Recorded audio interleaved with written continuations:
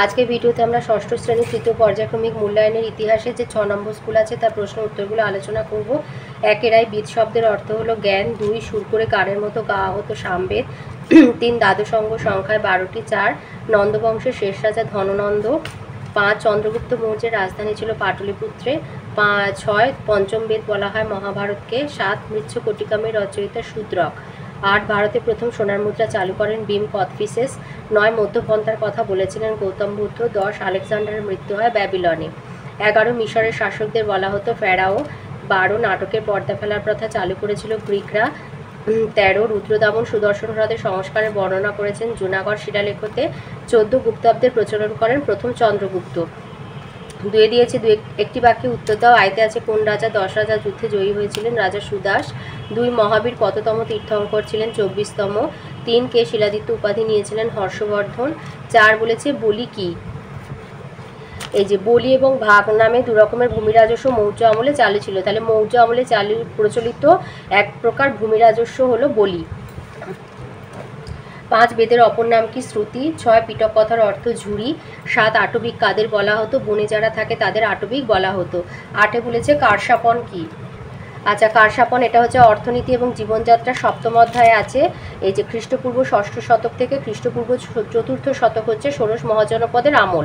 তাহলে তোমাকে যদি বলে ষোড়শ মহাজনপদের আমল কোন সময় ছিল, তাহলে বলবে খ্রিস্টপূর্ব ষষ্ঠ থেকে খ্রিস্টপূর্ব চতুর্থ শতক। তো এই সময় প্রচলিত একটা বহুল প্রচলিত মুদ্রা, এক ধরনের মুদ্রা। তাহলে কারসাপন হচ্ছে ষোড়শ মহাজনপদের আমলে বহু প্রচলিত এক ধরনের মুদ্রা, কারসাপন। নয় বলেছে ভারতে নেপোলিয়ান কাকে বলা হয়? সমুদ্রগুপ্তকে দশ ভারতের আদি মহা, সরি, মহাভারতের আদি নাম কী ছিল? জয়কাব্য। তিনে আছে স্তম্ভ মেলানো, আয়তে আছে অষ্টাঙ্গিক মার বৌদ্ধ ধর্ম, দুই শল্য চিকিৎসক, সুশ্রুত। তিন হচ্ছে প্রথম অ্যান্টিঅক্স হচ্ছে সিরিয়া, চার অম্ভি হচ্ছে তক্ষশিলা রাজা। চারেতে আছে দু তিনটি বাক্যে উত্তর দিতে বলেছে, এখানে দুই গুণ ছয় আছে মানে ছটা প্রশ্নের যে কোনো অথবা অথবা দিয়ে আছে, এটা বা ওটা যেটা হোক লিখতে হবে। তো প্রত্যেকটার মান হচ্ছে দু নাম্বার। সাতের আয় চারের আয়তে আছে জৈন ধর্মের মূল চারটি নীতি লেখো জৈন ধর্মের মূল চারটি নীতি হচ্ছে যে চারটি নীতি অবশ্যই মেনে চলতে হতো। এক হচ্ছে কোনো প্রাণী হত্যা না করা, দুই মিথ্যা কথা না বলা, তিন হচ্ছে অন্যের জিনিস ছিনিয়ে না নেওয়া, আর চার হচ্ছে নিজের জন্য কোনো সম্পত্তি না করা, এই যে ক, খ, গ, ঘ, এইটাই হচ্ছে মূল চারটে নীতি। অথবাতে আছে ত্রিপিটক কি? ত্রিপিটক হলো বৌদ্ধদের ধর্মগ্রন্থ। দুই বলেছে মহাকাব্য কি অথবা পরবর্তী বৈদিক যুগে চতুরাশ্রম বলতে কি বোঝো? এই মহাকাব্য কি? এটা হচ্ছে বইয়ের, তোমাদের বইয়ের ছাপ্পান্ন পাতায় ছাপ্পান্ন না, একশো সতেরো পাতায় আছে। মহাকাব্য কি? এটা হচ্ছে বইয়ের একশো সতেরো পাতাতে আছে। এই যে তামিল সাহিত্যে দীর্ঘ কবিতাগুলোকে বলা হতো মহাকাব্য। তাহলে মহাকাব্য হচ্ছে তামিল ভাষা, তামিল ভাষায় দীর্ঘ কবিতাগুলোকে মহাকাব্য বলা হয়। অথবাতে আছে বৈদিক যুগে চতুরাশ্রম, এটা হচ্ছে বইয়ের ছাপ্পান্ন পাতাতে রয়েছে। এই যে চতুরাশ্রম পরবর্তী বৈদিক যুগে জীবনযাপনে চারটি ভাগ বা পর্যায় ছিল ব্রহ্মচর্য গার্হস্থ বানপ্রস্থার, সন্ন্যাস। ছাত্রাবস্থায় গুরুগৃহে থেকে শিক্ষালাভ করা ছিল ব্রহ্মচর্যাশ্রম। শিক্ষালাভের পরে বিয়ে করে সংসার জীবন যাপনকে বলা হতো গার্হস্থাশ্রম। বানপ্রস্থাশ্রম বলা হতো সংসার থেকে দূরে বনে কুটির বানিয়ে ধর্মচর্চা করাকে। সব কিছু ভুলে ঈশ্বর চিন্তায় শেষ জীবন কাটানোকে বলা হতো সন্ন্যাসাশ্রম। এই চারটি পর্যায়কে একসঙ্গে চতুরাশ্রম বলা হতো। শূদ্রদের এই জীবনযাপনের কোনো অধিকার ছিল না। তিনি আছে হর্ষচরিত গ্রন্থটি কে রচনা করেন আর এর বিষয় কি ছিল? এটা হচ্ছে তোমাদের বইয়ের পঁচানব্বই পৃষ্ঠাতে রয়েছে।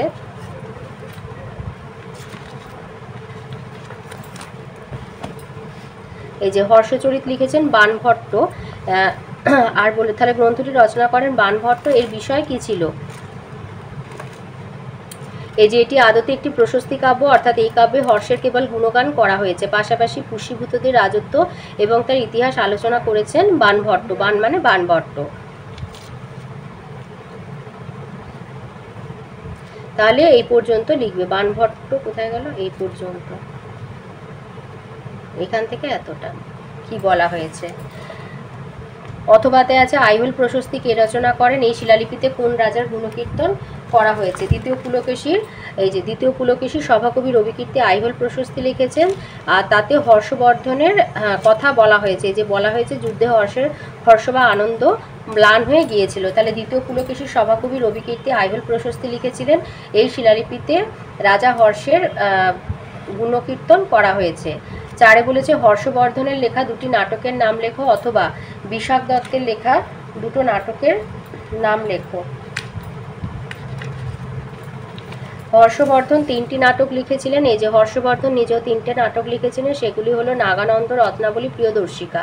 তো এখান থেকে দুটো দিয়ে দেবে আর বিশপ দত্তের লেখা দুটো নাম হচ্ছে মুদ্রা রাক্ষস আর দেবী চন্দ্রগুপ্তম। চা পাঁচে বলেছে চৈতকি এটা একশো ছাব্বিশ পৃষ্ঠাতে রয়েছে। আর বলেছে চিকিৎসা শাস্ত্রকে উপবেদ বলা হতো কেন? চৈত এখান থেকে লিখবে, স্তূপের সঙ্গে সঙ্গে বানানো হতো চৈত। সরাসরি পাহাড় কেটে গুহাবাস হিসাবেই বেশিরভাগ চৈত বানানো হতো। চৈতের আকার হতো লম্বাটে ধরনের এর শেষ প্রান্তে উপাসার্জন স্তূপ থাকতো। সাতবাহন যুগে নাসিক পিতালখোড়া কার্লে প্রভৃতি ছিল অঞ্চলে চৈত বানানো হয়েছিল। এটাই হলো চৈত আর বলেছে চিকিৎসা শাস্ত্রকে উপবেদ বলা হতো কেন?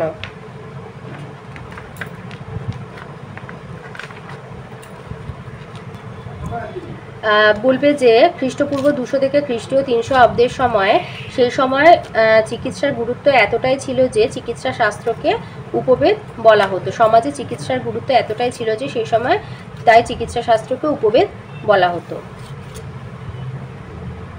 ছয় দিয়েছে চীনের প্রাচীর কে নির্মাণ করেছিলেন এবং বৌদ্ধ ধর্ম হিসাবে এটা তোমাদের চীনের প্রাচীর কে নির্মাণ করেছিলেন ওই বিভিন্ন যে সভ্যতাগুলো আছে এইখানে। এই যে এক নজরে প্রাচীন বিশ্বের বিভিন্ন সভ্যতায় যেখানে বাইরের আক্রমণ ঠেকাতে চীনের শাসকরা পাঁচিল দিয়ে সাম্রাজ্য ঘিরে রেখেছিলেন, সেই বিরাট প্রাচীরগুলোকে একসঙ্গে চীনের প্রাচীর বলা হয়। তাহলে কেন চীনের প্রাচীর দিয়েছিলেন বাইরের আক্রমণ ঠেকানোর জন্য বা বাইরের আক্রমণ থেকে সাম্রাজ্যকে সুরক্ষিত করবার জন্য চীনের প্রাচীর তৈরি করা হয়েছিল? আর বৌদ্ধ ধর্মের কেন্দ্র হিসাবে কাশ্মীরের ভূমিকা কি বেশি ছিল বলে তোমার মনে হয়? লিখবে বৌদ্ধ ধর্মের কেন্দ্র হিসাবে কাশ্মীর খুবই উল্লেখযোগ্য কেন্দ্র ছিল। কারণ হচ্ছে, ভারতীয় উপমহাদেশে কাশ্মীর অঞ্চলে বৌদ্ধ ধর্ম এবং শিক্ষার চর্চা হতো। বুদ্ধদাস ছিলেন বুদ্ধ যশ ছিলেন তেমনই একজন কাশ্মীরি বৌদ্ধ পণ্ডিত। পড়াশোনা শেষে তিনি মধ্য এশিয়ার কাজ করে চলে যান।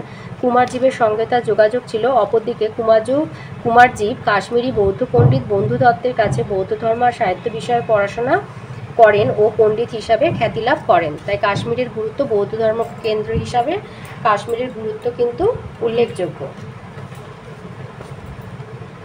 পাঁচের আয়তে বলেছে, টিকা লেখো, এলাহাবাদ প্রশস্তি অথবা মৌর্যদের, মৌর্য রাজাদের কর ব্যবস্থা কীরকম ছিল? এলাহাবাদ প্রশস্তি হচ্ছে পঁচাশিতে আছে আর এটা পঁচাশিতে আছে আর এলাহাবাদ প্রশস্তি হচ্ছে বিরানব্বই পেজে আছে। এলাহাবাদ দুর্গের ভেতর একটি শিলালেখ আছে। লেখটি গুপ্ত যুগের ব্রাহ্মী লিপিতে ও সংস্কৃত ভাষায় খোদাই করা। এলাহাবাদের কৌশাম্বী গ্রামে লেখটি ছিল, পরবর্তী সময় মুঘল সম্রাট আকবর সেটিকে তুলে আনিয়ে এলাহাবাদ দুর্গের মধ্যে রাখেন। এই লেখটিতে প্রশস্তি খোদাই করা আছে। প্রশস্তিটি হরিসেনের লেখা। তিনি সম্রাট সমুদ্রগুপ্তের সভাকবি ছিলেন। লেখটিতে আদতে সমুদ্রগুপ্তের গুণগান করা হয়েছে। সম্রাট হিসাবে সমুদ্রগুপ্তের যুদ্ধ, রাজ্য জয় প্রভৃতির কথা লেখটিতে আছে। পদ্য এবং গদ্য দুই ভাষাতেই সেটি লেখা। যদিও সমুদ্রগুপ্তের প্রসঙ্গে শুধু ভালো কথাই লেখটিতে বলা হয়েছে, তবু ওই সময়ের ইতিহাস জানার জন্য লেখটি জরুরি প্রত্নতাত্ত্বিক উপাদান। ওর অথবাতে আছে মৌর্য সাম্রাজ্যের কর ব্যবস্থা মৌর্যরাই প্রথম রাজস্ব বা কর ব্যবস্থাকে ঢেলে সাজায়। রাজস্বের বেশিরভাগটাই আসত কৃষি থেকে। চাষি তার ফসলের একের ছয় ভাগ দিত রাজস্ব হিসাবে। বলি এবং ভাগ নামে দুই রকম ভূমি রাজস্ব মৌর্য আমলেও চালু ছিল। তবে সম্রাট চাইলে কর ছাড় দিতে পারতেন। গৌতম বুদ্ধের জন্মস্থান লুম্বিনী গ্রামের বলি কর ছাড় দিয়েছিলেন সম্রাট অশোক। কারিগর, ব্যবসায়ী, বণিক সবার থেকে কর আদায় করত মৌর্য প্রশাসন। পাঁচে দুই আছে, বৈদিক যুগের পড়াশোনায় গুরু শিষ্যের সম্পর্ক কেমন ছিল বলে মনে হয়। বৈদিক সাহিত্য থেকে সেই যুগের শিক্ষা ব্যবস্থার ধারণা আমরা পাই শিক্ষা ব্যবস্থার প্রধান ছিলেন গুরু, মৌখিকভাবে শিক্ষা চর্চা হতো। গুরু একটা অংশ পড়ে তার মানে বুঝিয়ে দিতেন, ছাত্ররা সেই পুরোটা শুনে আবৃত্তি করত মনে রাখত। মুখস্থ করার ক্ষেত্রে সঠিক উচ্চারণের উপরে বিশেষ জোর দেওয়া হতো। বৈদিক যুগের কোনো লিপির খোঁজ প্রত্নতাত্ত্বিকরা পাননি। পরবর্তী বৈদিক যুগের শিক্ষার সঙ্গে উপনয়নের সম্পর্ক দেখা যায়। ছাত্র শিক্ষা নেওয়ার জন্য গুরুর কাছে আবেদন করত। উপযুক্ত মনে করলে উপনয়ন অনুষ্ঠানের মধ্য দিয়ে গুরু সেই ছাত্রকে শিষ্য হিসাবে মেনে নিতেন। মেয়েদেরও যে উপনয়ন হতো তারও বেশ কিছু প্রমাণ দেখা যায়। গুরুর কাছে থেকেই ছাত্ররা শিক্ষা লাভ করত। সেখানে পড়াশোনার পাশাপাশি অন্যান্য কাজকর্ম ছাত্রদের করতে হতো। ছাত্রদের থাকা খাওয়ার দায়িত্ব ছিল গুরুর ওপরে।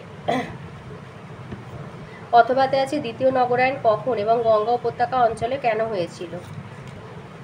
আচ্ছা দ্বিতীয় নগরায়ণ কখন হয়েছিল? মূলত, দ্বিতীয় নগরায়ণ মূলত হয়েছিল খ্রিস্টপূর্ব ছশো অব্দ নাগাদ উত্তর ভারতে গঙ্গা উপত্যকায় যে নগরায়ণ হয়েছিল সেটাই দ্বিতীয় নগরায়ণ নামে পরিচিত। তাহলে লিখবে খ্রিস্টপূর্ব ছশো অব্দ নাগাদ, উত্তর ভারতে বিশেষত গঙ্গা উপত্যকায় যে নগরায়ণ হয়েছিল তাকে দ্বিতীয় নগরায়ণ বলা হয়। এবার ওর সাথে আছে যেটা যে গঙ্গা উপত্যকা অঞ্চলেতে কেন এই নগরায়ণ হয়েছিল? তো এটাই প্রথমের যে অংশ আছে, সেখানে যেটা লিখেছে যে, এই যে, এখানে লিখবে যে গঙ্গা উপত্যকা অঞ্চলের নদীগুলিতে বছরের বেশিরভাগ সময় জল থাকতো, তার সঙ্গে ছিল যথেষ্ট পরিমাণ বৃষ্টি। এর ফলে ওই অঞ্চলে উর্বর মাটি চাষের পক্ষে ভালো ছিল এবং চাষবাদের সাথে ব্যবসা বাণিজ্যেরও সুবিধা ছিল। তো এই সমস্ত কারণের জন্য গঙ্গা উপত্যকায় দ্বিতীয় নগরায়ণ হয়েছিল। তিনি বলেছে টিকা লেখো চীন সভ্যতা অথবা গান্ধার শিল্পীরা কেমনভাবে বুদ্ধমূর্তি নির্মাণ করতেন। তো প্রথমেরটা এটা হচ্ছে একশো ছত্রিশ পৃষ্ঠায় আছে আর চীন সভ্যতা হচ্ছে একশো একশো ছত্রিশে আর এই বুদ্ধমূর্তি নির্মাণ করতেন এটা একশো পঁয়তাল্লিশে। এক নজরে প্রাচীন বিশ্বের বিভিন্ন সভ্যতা, ভারত এবং সমকালীন বহির্বিশ্ব। ভারত এবং সমকালীন বহির্বিশ্ব এই অধ্যায়ে তোমার এই চীন সভ্যতা রয়েছে, এই যে, এশিয়া মহাদেশের পূর্বে হোয়াংহো আর ইয়াংসিকিয়াং নদীর অববাহিকায় ছিল প্রাচীন চীন সভ্যতা। প্রথম কাগজ বানানোর এবং কাঠের হরফ বানিয়ে ছাপার কৌশলও চীনেই তৈরি হয়েছিল। বাইরের আক্রমণ ঠেকাতে চীনের শাসকরা পাঁচিল দিয়ে সাম্রাজ্য ঘিরে রেখেছিলেন। সেই বিরাট পাঁচিলগুলিকে একসঙ্গে চীনের প্রাচীর বলা হয়। চীনে বারুদের ব্যবহার হতো। আর বলেছে গান্ধার শিল্পীরা কেমনভাবে বুদ্ধ মূর্তি নির্মাণ করতেন, এই হচ্ছে গান্ধার শিল্পী। এই যে বলেছে, বৌদ্ধ ধর্মকে ঘিরে গান্ধার শিল্প গড়ে উঠেছিল। আগে বুদ্ধের মূর্তি বানানোর পুজো করা নিষিদ্ধ ছিল। গান্ধারের শিল্পীরা নতুন করে বুদ্ধ মূর্তি তৈরি করেন। তাহলে এখান থেকে বলবে যে গান্ধারের শিল্পীরা কেমন করে বুদ্ধ মূর্তি বানাতেন। এখান থেকেই বলবে, কারণ এই যে বলেছে, নতুন ধরনের বুদ্ধ মূর্তি তৈরি করেন। নাক টিকালো, টানা ভুরু এবং আধ বোঝা চোখ মূর্তিগুলির বৈশিষ্ট্য। মূর্তির পায়ের জুতোগুলো রোমান জুতোর মতো দেখতে হতো, সোনালী রঙের ব্যবহারও মূর্তিগুলিতে দেখা যায়।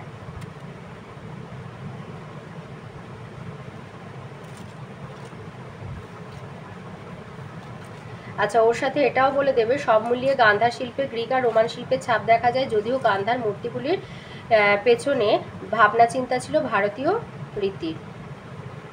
এ পর্যন্ত। চারে বলেছে টিকা লেখো চতুর্যাম আর পঞ্চম মহাব্রত অথবা টিকা লেখো হিনজান এবং মহাযান। আচ্ছা বইয়ের সত্তর পৃষ্ঠাতে রয়েছে, চতুর্যাম আর পঞ্চম মহাব্রত জৈন ধর্মে চারটি মূলনীতি অবশ্যই মেনে চলতে হতো। সেগুলো হলো, এক হচ্ছে কোনো প্রাণী হত্যা না করা, দুই মিথ্যা কথা না বলা, তিন অন্যের জিনিস ছিনিয়ে না নেওয়া, চার হচ্ছে নিজের জন্য কোনো সম্পত্তি না করা। পার্শ্বনাথী চারটি মূলনীতি মেনে চলার নির্দেশ দিয়েছিলেন। এই নীতি চারটিকে একসঙ্গে চতুর্যামব্রত বলা হয়। মহাবীর এই চারটি নীতির সঙ্গে আরও একটি নীতি যোগ করেন, তার মতে ব্রহ্মচর্য নীতিও জৈনদের মেনে চলা উচিত। এই পাঁচটি নীতিকে একসঙ্গে পঞ্চম মহাব্রত বলা হয়। আর তিয়াত্তর পেজে আছে, বইয়ের তিয়াত্তর পেজে হিনজান আর মহাজান আছে, বলছে জীবনযাপন এবং ধর্মীয় আচরণ বিষয়ে বৌদ্ধ সংঘে মতবিরোধ তৈরি হয়। বেশ কিছু সন্ন্যাসী আমিষ খাবার খেতে থাকেন। দামি, ভালো পোশাক পরতে থাকেন, সোনার উপর দান হিসাবে নিতে শুরু করেন। ধীরে ধীরে কিছু সন্ন্যাসী প্রায় পারিবারিক জীবনযাপন শুরু করেন। সংঘের নিয়ম নীতি শিথিল হতে থাকে। এর ফলে বৌদ্ধ ধর্মে মহাযান নামে এক নতুন দল তৈরি হয়। কুষাণ আমল থেকে বুদ্ধের মূর্তির পুজোর চল শুরু হয়। মহাযানীরা মূর্তি পূজার সমর্থক ছিলেন। এর ফলে পুরানো মতের বৌদ্ধ সন্ন্যাসীরা মহাযান মতামতের বিরোধী হয়ে পড়ে। তারা হিনজান নামে পরিচিত হন। সম্রাট কনিষ্ক মহাযান বৌদ্ধ মতের সমর্থক ছিলেন। চতুর্থ বৌদ্ধ সঙ্গীতিতে হিনজান এবং মহাযানরা চূড়ান্তভাবে আলাদা হয়ে যায়। পাঁচে বলেছে, স্তূপ চৈত্য বিহার বলতে কি বোঝো? আর অথবা তক্ষশিলা মহাবিহার সম্পর্কে লেখো। আচ্ছা বইয়ের একশো ছাব্বিশ পৃষ্ঠায় আছে স্তূপ চৈত এবং বিহারের কথা। জানা যায়, গৌতম বুদ্ধ তার দেহাবশেষের ওপর স্তূপ বানানোর নির্দেশ দিয়েছিলেন। অর্ধগোলাকার মাটির ঢিবিগুলি ছিল মৌর্য যুগের আগের স্তূপ। মৌর্য পরবর্তী সময়ে স্তূপ বানানোর সংখ্যায় অনেক বেড়ে যায়। স্তূপের চারিদিকে চারটি বড় দরজা থাকতো, সেগুলিকে তোরণ বলা হয়। তোরণগুলিতে ভাস্কর্য খোদাই করা হতো। স্তূপের চারপাশে ঘুরে ঘুরে উপাসনা করার জন্য পথ থাকতো। শাসক ও ধনী ব্যক্তিদের উদ্যোগে স্তূপগুলি তৈরি হতো। ভারহুত সাঁচি, অমরাবতী স্তূপগুলি স্থাপত্য হিসাবে বিখ্যাত। স্তূপের সঙ্গে সঙ্গে বানানো হতো চৈত্য। সরাসরি পাহাড় কেটে গুহাবাস হিসাবে বেশিরভাগ চৈত্য বানানো হতো। চৈতের আকার হতো লম্বাটে ধরনের। চৈতের শেষ প্রান্তে উপাসনার জন্য একটি স্তূপ থাকতো। সাতবাহন যুগে নাসিক, পিতলখোড়া, কার্লে প্রভৃতি অঞ্চলে চৈত বানানো হয়েছিল। বৌদ্ধ বিহার বা সংঘারামগুলিও স্থাপত্য শিল্পের উদাহরণ। বৌদ্ধ ভিক্ষুকদের থাকার ও পড়াশোনার জন্য বিহারগুলি তৈরি হতো। বিহারগুলি আদতে ছিল অনেকগুলো গুহার সমষ্টি। পরবর্তীকালে ইট দিয়ে বিহার তৈরি করা হতো। তক্ষশিলা মহাবিহার হচ্ছে গান্ধার মহাজনপদের রাজধানী ছিল তক্ষশিলা। গ্রিক পারসিক কুষাণ শক নানা বিদেশি শক্তি নানা সময় তক্ষশিলা দখল করে। ফলে সেখানে নানা দেশের মানুষ ও পণ্ডিত লোকের আনাগোনা ছিল। বৌদ্ধ ধর্ম তক্ষশিলায় জনপ্রিয় হয়ে উঠেছিল ধীরে ধীরে। শিক্ষাকেন্দ্র হিসাবে তক্ষশিলা বিখ্যাত হয়ে ওঠে। দেশের বিভিন্ন অঞ্চল থেকে ছাত্ররা তক্ষশিলায় যেত উচ্চশিক্ষার জন্য। ষোলো থেকে কুড়ি বছর বয়সের ছাত্ররা সেখানে ভর্তি হতে পারত। ধর্ম বা বর্ণ নয়, বরং যোগ্যতা যাচাই করেই ছাত্রদের নেওয়া হতো। মোটামুটি আট বছর তারা সেখানে লেখাপড়া করত। রাজা ও ব্যবসায়ীরা এই মহাবিহার চালানোর জন্য টাকা পয়সা বা জমি দান করতেন। এখানে পরীক্ষার পদ্ধতি ছিল বেশ সহজ। মনে হয় লিখিত পরীক্ষার ব্যবস্থা ছিল না, তবে লেখাপড়ার মান ছিল বেশ ভালো। এই মহাবিহারের কয়েকজন বিখ্যাত ছাত্র ছিলেন জীবক পানিনি এবং চাণক্য। ছয়ের আয়তে দিয়েছে কৌটিল্য দেওয়া তালিকা অনুযায়ী একজন রাজা। রোজ কখন কি করা উচিত সেই তালিকা লেখো অথবা গুপ্ত সম্রাট সমুদ্রগুপ্তের রাজ্য বিস্তার সম্পর্কে লেখো। আচ্ছা এখানে বলেছে রোজ কখন কি করা উচিত সেই তালিকা হিসাবে লেখো। তো দিনের বেলা করবে, এক হচ্ছে জমা খরচের হিসাব পরীক্ষা করবেন দেশের সুরক্ষার খোঁজখবর নেবেন, দুই নগর এবং গ্রামের জনগণের সুবিধা অসুবিধার কথা শুনবেন, তিন স্নান খাওয়া পড়াশোনা করবেন। চার নগদ রাজস্ব নেবেন বিভিন্ন মন্ত্রীদের মধ্যে কাজ ভাগ করে দেবেন।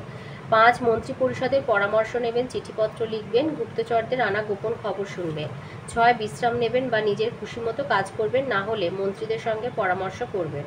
সাত হচ্ছে হাতি, ঘোড়া রথ সৈন্য সামন্তদের অবস্থা খুঁটিয়ে দেখবেন। আট হচ্ছে সেনাপতির সঙ্গে যুদ্ধ আর সেনাবাহিনী নিয়ে আলোচনা করবেন। আর রাতে হচ্ছে এখনও গুপ্তচরদের সঙ্গে কথাবার্তা বলবেন, দুই স্নান খাওয়া পড়াশোনা করবেন, তিন বাজনা শুনতে শুনতে বিছানায় শুয়ে বিশ্রাম নেবেন, চার ও পাঁচ হচ্ছে ঘুমাবেন, সব মিলিয়ে সাড়ে চার ঘণ্টা ঘুম বরাদ্দ রাজার জন্য। ছয় বাজনার শব্দ শুনে ঘুম থেকে উঠবেন, শাসনের নানা পদ্ধতি নিয়ে ভাববেন কি কি কাজ করতে হবে তা নিয়েও চিন্তা করবেন। সাত হচ্ছে মন্ত্রীদের সঙ্গে আলোচনা করবেন, গুপ্তচরদের বিভিন্ন কাজে পাঠাবেন, আর আট হচ্ছে পুরোহিতের আশীর্বাদ নেবেন, নিজের চিকিৎসকের সঙ্গে দেখা করবেন, প্রধান নাধুনি ও জ্যোতিষীর সঙ্গে দেখা করবেন। আচ্ছা গুপ্ত সম্রাট সমুদ্রগুপ্তের রাজ্য বিস্তার এখান থেকে বলবে যে পরবর্তী শাসক গুপ্ত সাম্রাজ্যের প্রথম চন্দ্রগুপ্তের, পরবর্তী শাসক সমুদ্রগুপ্তের আমলে গুপ্ত সাম্রাজ্য সব থেকে বড় আকার পেয়েছিল। উত্তর ভারত বা আর্যাবর্তের নয়জন শাসককে হারিয়ে দেন সমুদ্রগুপ্ত অরণ্য বা আটবিক রাজ্যগুলো তার অধীনে এসেছিল। এর ফলে পূর্বে রাঢ় থেকে পশ্চিমে গঙ্গা উপত্যকার ওপরের অংশ পর্যন্ত গুপ্ত শাসন ছড়িয়ে পড়ে। দক্ষিণ ভারতেও বারোজন রাজাকে হারিয়ে দেন সমুদ্রগুপ্ত সুদূর দক্ষিণে তামিলনাড়ুর উত্তর পূর্ব অংশ পর্যন্ত গুপ্ত শাসকের অধিকার কায়েম হয়েছিল। তবে দক্ষিণ ভারতে বারোজন রাজাকে শেষ পর্যন্ত রাজত্ব ফিরিয়ে দেন সমুদ্রগুপ্ত। উত্তর ভারত থেকে দক্ষিণ ভারতে শাসন টিকিয়ে রাখা সম্রাটের পক্ষে বোধহয় সম্ভব ছিল না। সে সময় কয়েকটি রাজশক্তি সমুদ্রগুপ্তকে কর দিত, তাদের বলা হতো করদ রাজ্য। এই পর্যন্ত হলো সমুদ্রগুপ্তের রাজ্য বিস্তার। ছয়ের দুই আছে, প্রাচীন ভারত উপমহাদেশের জলসেচ ব্যবস্থা সম্পর্কে বর্ণনা করো। অথবা ফাঁসিয়ানের লেখা থেকে ভারতীয় উপমহাদেশের সমাজ সম্পর্কে আমরা কি জানতে পারি? আচ্ছা তোমাদের বইয়ে একশো তিন পাতায় অর্থনীতি ও জীবনযাত্রা অধ্যায়ে আছে, প্রাচীন ভারতীয় উপমহাদেশের জলসেচ ব্যবস্থা। কৃষিকাজের উন্নতির জন্য প্রয়োজন ভালো সেচ ব্যবস্থা। প্রাচীন ভারতীয় উপমহাদেশের শাসকরা সেদিকে নজর দিতেন। নদীর জল সেচের মাধ্যমে খেতে পৌঁছে দিতে নানান উদ্যোগ নেওয়া হতো। জলসেচ প্রকল্পগুলিকে সেতু বলা হতো। এই সেতু ছিল দু ধরনের। এক ধরনের সেতু প্রাকৃতিক জলের উৎসকে ভিত্তি করে থাকত। আবার কৃত্রিম উপায়ে অন্য এলাকা থেকে প্রয়োজনীয় জল আনিয়েও সেতু বানানো হতো। সেতুর জল ব্যবহার করার জন্য কৃষকদের জল কর দিতে হতো। ধনী ব্যক্তিরাও নিজের উদ্যোগে জলসেচ প্রকল্প তৈরি করতেন। কুষাণ আমলে সেতুর ক্ষতি করলে শাস্তি দেওয়ার কথাও জানা যায়। কূপ বা জলাশয় বানিয়ে দেওয়া ভালো কাজ বলে ধরা হতো। সেচ কাজে এক ধরনের যন্ত্রের ব্যবহার শুরু হয়। যন্ত্রটি চাকার মতো, তার গায়ে ঘটি লাগানো থাকতো। বড় কূপ বা জলাশয়ের যন্ত্রটি বসানো হতো। চাকাটি ঘুরিয়ে ঘটিগুলি দিয়ে কূপের জল বাইরে আনা হতো। ওই যন্ত্র বানানো আর সারানোর কারিগরও ছিল। গুপ্ত আমলে কৃষিকাজ বাড়ার সঙ্গে সঙ্গে সেচ ব্যবস্থার উন্নতির যোগাযোগ দেখা দেয়। তাম্রলেখগুলিতে গ্রামে পুকুর বা তরাক করার কথা পাওয়া যায়। সেচের উন্নতিতে রাজা নজর দিতেন। পাশাপাশি ধনী ব্যক্তিরাও নিজেদের উদ্যোগে জলসেচের ব্যবস্থা করতেন। ফার্সিয়ানে লেখা ভারত উপমহাদেশের সমাজ, গুপ্ত সম্রাট দ্বিতীয় চন্দ্রগুপ্তের আমলে ফার্সিয়ান চীন থেকে ভারতীয় উপমহাদেশে এসেছিলেন। তাঁর লেখায় উপমহাদেশের মানুষ ও সমাজ বিষয়ে নানান কথা পাওয়া যায়। তবে তাঁর লেখায় কোথাও দ্বিতীয় চন্দ্রগুপ্তের কথা বলেননি তিনি। ফার্সিয়ান লিখেছেন, উপমহাদেশে অনেকগুলি নগর ছিল মধ্যদেশের নগরগুলো ছিল উন্নত। সেখানে জনগণ সুখে বাস করত, তবে চণ্ডালরা নগরের বাইরে থাকতো বলে তিনি জানিয়েছেন। যারা দুষ্টু প্রকৃতির লোক, তাদেরকে চণ্ডাল বলা হতো। এদেশের লোকেরা অতিথিদের যত্ন করত, বিদেশিদের যাতে কোনো কষ্ট না হয়, তার দিকেও তার খেয়াল রাখত। পাটলিপুত্র ছিল দেশের সেরা নগর। সেখানকার লোকেরা সুখী আর সম্পদশালী ছিল। ধনী বৈশ্যরা নগরের বিভিন্ন স্থানে দাতব্য চিকিৎসার ব্যবস্থা করে দিতেন। বিনামূল্যে সেখান থেকে ওষুধ দেওয়া হতো। গরিবদের থাকার এবং খাওয়ার ব্যবস্থাও ছিল সেখানে। ছয়ের তিনে আছে, ভারতীয় প্রাচীন ভারতীয় উপমহাদেশে সাহিত্য চর্চার পরিচয় দাও, আর অথবাতে বলেছে প্রাচীন ভারতের চিকিৎসা ব্যবস্থার বিজ্ঞান চর্চার সংক্ষিপ্ত বিবরণ দাও। প্রাচীন ভারতীয় উপমহাদেশে সাহিত্য চর্চার মান ছিল অতি উন্নত। এক হচ্ছে ধর্মশাস্ত্র, খ্রিস্টপূর্ব ষষ্ঠ শতক থেকে পুরানো জাতীয় বর্ণ ব্যবস্থার ব্যাখ্যা করে ধর্মশাস্ত্র লেখা চল শুরু হয়। সংস্কৃত ভাষায় লেখা ধর্মশাস্ত্রগুলিতে ব্রাহ্মণরাই যে শ্রেষ্ঠতা নানাভাবে উল্লেখ করা হতো। এগুলিতে রাজনীতি নিয়েও কিছু আলোচনা থাকতো। দুই হচ্ছে স্মৃতিশাস্ত্র ধর্মশাস্ত্রের পাশাপাশি প্রাচীন ভারতে স্মৃতিশাস্ত্র নামক এক ধরনের সাহিত্য চর্চা শুরু হয়। স্মৃতিশাস্ত্রগুলিতে সম্পত্তির অধিকার আর প্রতিদিনের জীবনে নানা দিক আলোচনা করা হতো। তিন হচ্ছে নাট্যশাস্ত্র। প্রাচীন ভারতীয় সমাজের উচ্চতলার মানুষের বিনোদনের মাধ্যম ছিল নাটক ও অভিনয়।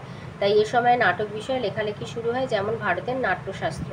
যার বিভিন্ন ভাষা সাহিত্য, খ্রিস্টপূর্ব দুশো থেকে খ্রিস্ট তিনশো অব্দের মধ্যে বিভিন্ন ভাষায় সাহিত্য লেখা শুরু হয়। সংস্কৃত ভাষায় লেখা পতঞ্জলির মহাভাষ্য, প্রাকৃত ভাষায় সাতবাহন রাজা হালের লেখা গাথা সপ্তশতী এবং তামিল ভাষায় লেখা সঙ্গম সাহিত্যগুলো হলো প্রাচীন ভারতের বিভিন্ন ভাষা সাহিত্যের নিদর্শন। চিকিৎসা শাস্ত্র, নানা রকম ওষুধ আর অস্ত্রোপচারের বিষয় নিয়ে এ সময় রচিত নানা রকম বই চরকের লেখা চরক সংহিতা, সুশ্রুতের লেখা সুশ্রুত সংহিতা হলো প্রাচীন ভারতে চিকিৎসা শাস্ত্রের দুই বিখ্যাত বই, মহাকাব্য প্রাচীন ভারতে রচিত হয় ভারতের দুই মহাকাব্য, রামায়ণ এবং মহাভারত। আচ্ছা আমাদের এই ছয়ের তিনের অথবাতে দুটো বিষয়, একটা হচ্ছে চিকিৎসা ব্যবস্থা আর একটা হচ্ছে বিজ্ঞান চর্চা। তাহলে চিকিৎসা ব্যবস্থা, এখানে চিকিৎসা শাস্ত্র, ভূমিকা হচ্ছে প্রাচীন ভারতে বৈদিক যুগ থেকে চিকিৎসা শাস্ত্রের বিকাশ ঘটেছিল। বৌদ্ধ বিহারগুলিতে অন্যান্য বিষয়ের সঙ্গে চিকিৎসা বিষয়ক বহু গ্রন্থ রচিত হয়েছিল। সুশ্রুত সুশ্রুত ছিলেন চরকের পরবর্তীকালের একজন বিখ্যাত শল্য চিকিৎসক। তার রচিত বিখ্যাত গ্রন্থ সুশ্রুত সংহিতা এই গ্রন্থে আটটি প্রধান ব্যাধি এবং তার প্রতিকারের উল্লেখ আছে। দুই হচ্ছে চরক চরক ছিলেন কুষাণ সম্রাট কনিষ্কের চিকিৎসক। তার লেখা চরক সংহিতা হলো প্রাচীন ভারতের চিকিৎসা সংক্রান্ত প্রথম প্রামাণ্য গ্রন্থ। আর তিনি বলেছে, অন্যান্য চিকিৎসকগণ বানভট্ট, ধন্বন্তরী, জীবক প্রমুখ ছিলেন প্রাচীন ভারতের বিখ্যাত চিকিৎসক। তাদের রচনাবলী চিকিৎসা শাস্ত্রকে সমৃদ্ধ করেছিল। এবং এতটাই আর কি চিকিৎসা শাস্ত্রের সমাজে, সেই সময় সমাজে এতটাই চিকিৎসা শাস্ত্রের গুরুত্ব ছিল যে চিকিৎসা শাস্ত্রকে উপবেদও বলা হতো। আর ওর সাথে আমাদের আছে বিজ্ঞান চর্চা নিয়ে বলতে বলেছে।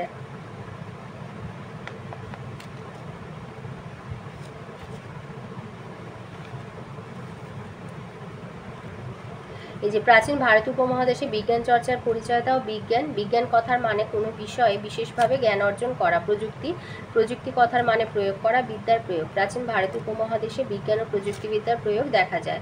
উপমহাদেশে হরপার বৈদিক সমাজে বিজ্ঞান ও প্রযুক্তির চর্চা ছিল। বিজ্ঞানের জ্ঞান প্রতিদিনের জীবনযাত্রায় প্রযুক্ত হতো। গৃহ নির্মাণ ধাতুর ব্যবহার, রাস্তাঘাট নির্মাণ প্রভৃতি ক্ষেত্রে বিজ্ঞান ও প্রযুক্তির ব্যবহার ছিল। এই ছিল আজকের আমাদের ষষ্ঠ শ্রেণি ঋতু পর্যায়ক্রমিক মূল্যায়নের ইতিহাসের ছ নম্বর স্কুলের প্রশ্নের উত্তরগুলো। তো কেমন লাগল কমেন্টের মাধ্যমে জানাবে। ভালো লাগলে লাইক আর একটু বেশি করে শেয়ার করে দেবে। আর যদি চ্যানেলটা সাবস্ক্রাইব না করে থাকো তো অবশ্যই সাবস্ক্রাইব করে নেবে।